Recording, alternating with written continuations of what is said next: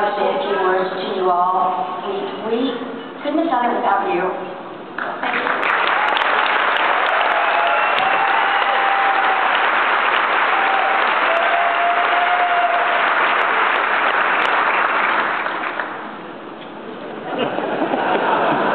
She's always scared I to say something.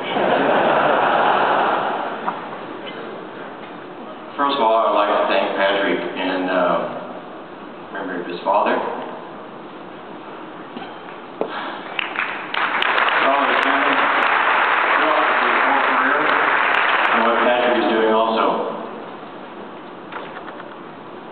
Nine years ago, I spoke at the dinner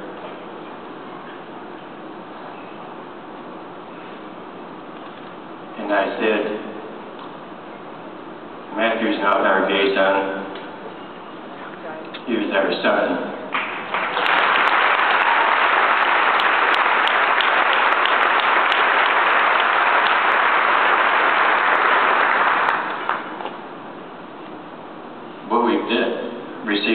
Is a family affair. Our family and the rest of our family.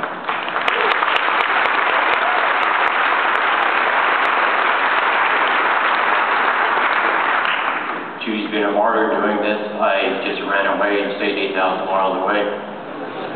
And she basically has done this by herself. But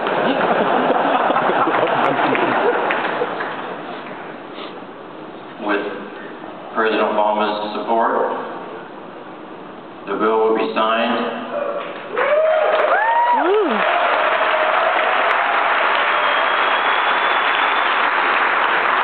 And then my statement will only be, Matthew was our son. Thank you.